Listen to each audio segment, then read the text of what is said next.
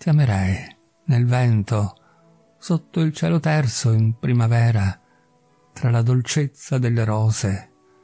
Ti amerei nel canto degli uccelli, all'ombra della vegetazione, sulla pietra calda e nuda, sotto il sole bruciante, nella frescura dell'erba e con il canto degli insetti.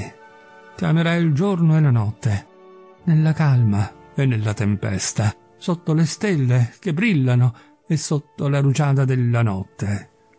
E la mattina, all'alba, con il sorriso e con le lacrime, ti amerei con tutte le mie forze.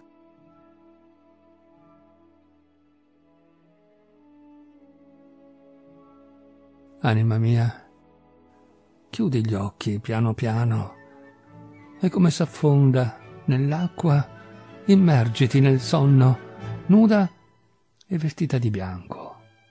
Il più bello dei sogni ti accoglierà. Anima mia, chiudi gli occhi, pian piano. Abbandonati come nell'arco delle mie braccia.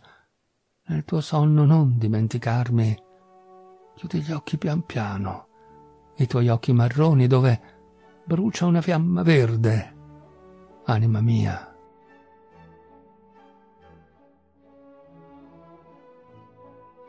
Orribile notte d'insonnia, senza la presenza benedetta del tuo caro corpo accanto a me, senza la tua bocca, tanto baciata, anche se troppo scaltra e sempre in malafede, senza la tua bocca tutta menzogne, ma così franca quando ci penso, e che sa consolarmi sotto l'aspetto e la specie di una fragola.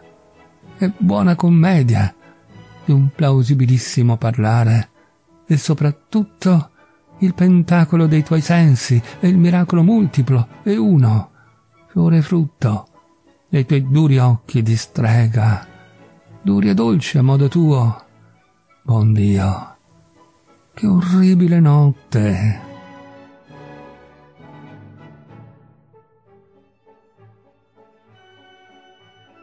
Tu sei per la mia mente come cibo per la vita, come le piogge di primavera sono per la terra. E per goderti in pace combatto la stessa guerra che conduce un avaro per accumular ricchezza. Prima orgoglioso di possedere e subito dopo roso del dubbio che il tempo gli scippi il tesoro. Prima voglioso di restare solo con te, poi orgoglioso che il mondo veda il mio piacere. Talvolta sazio di banchettare del tuo sguardo, subito dopo affamato di una tua occhiata. Non possiedo né perseguo alcun piacere se non ciò che ho da te, e da te io posso avere. Così ogni giorno soffro di fame e sazietà, di tutto ghiotto, ed ogni cosa privo.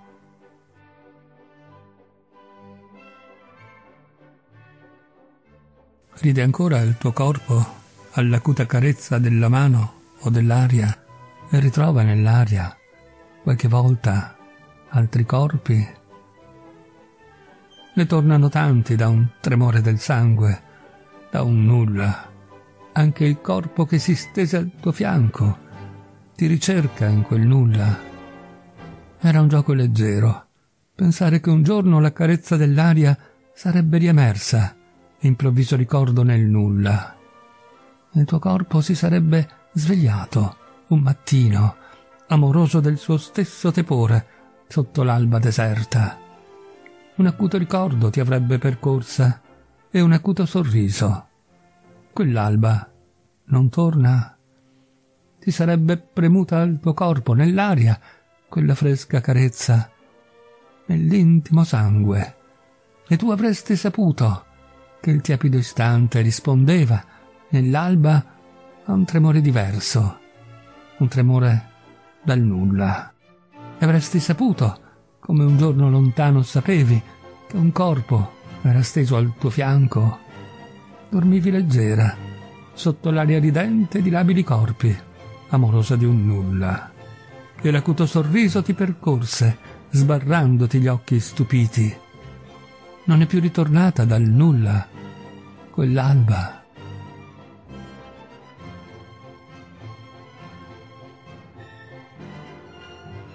Ti amo, per le ciglia, per i capelli.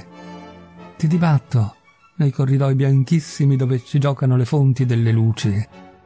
Ti discuto ogni nome. Ti svelo con delicatezza di cicatrice. Ti vado mettendo sulla testa ceneri di lampo e nastri che nella pioggia dormivano. Non voglio che tu abbia una forma, che tu sia precisamente ciò che viene dietro la tua mano. Perché l'acqua, considera l'acqua, e i leoni, quando si dissolvono nello zucchero della favola, e i gesti, questa architettura del nulla, che accendono le loro lampade a metà dell'incontro. Tutta mattina è la lavagna dove ti invento e ti disegno, pronto a cancellarti, così non sei, neppure con questi capelli lisciati, questo sorriso. Cerco la tua somma, il bordo della coppa, dove il vino è anche la luna e lo specchio. Cerco questa linea che fa tremare un uomo in una galleria di museo. Per di più, ti amo e fa tempo e freddo.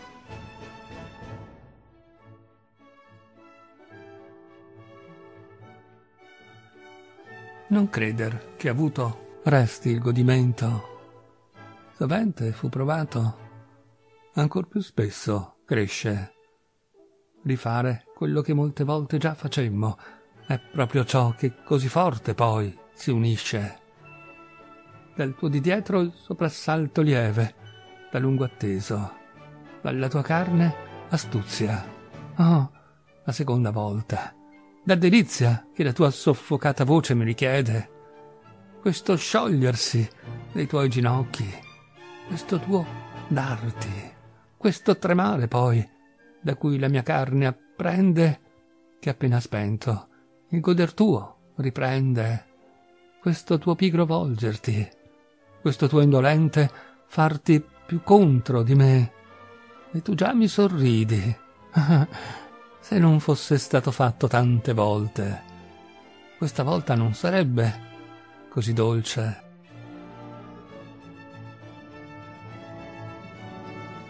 Abbiamo passato la notte.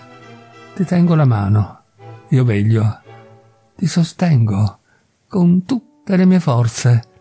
Incido su una pietra, la stella delle tue forze.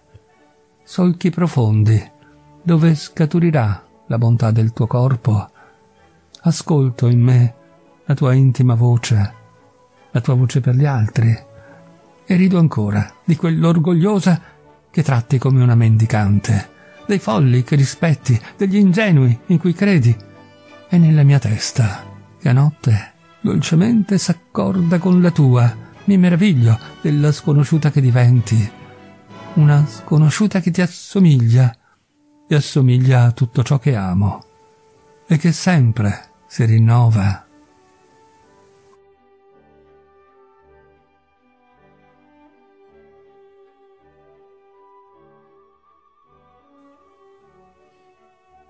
Toglimi l'erba che mi cresce intorno. Non vedi che mi soffoca? Ridammi l'aria, il vento, la luce che mi manca.